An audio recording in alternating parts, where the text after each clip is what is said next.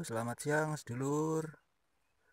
Salam dari saya Arek Belitang 51.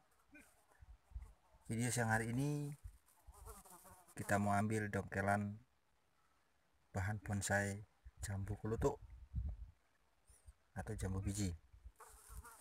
Nih. Intinya ini rebah itu bisa kita setel untuk bentuk yang pas seperti apa. Ini kita potong dulu untuk mempermudah nanti kita dongkal.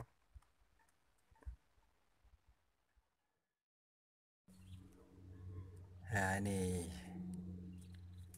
bongkaknya bonsainya ini udah ketemu udah dapet kita. Ini bonsai jambu yang tadi dongkel akan kita bentuk nanti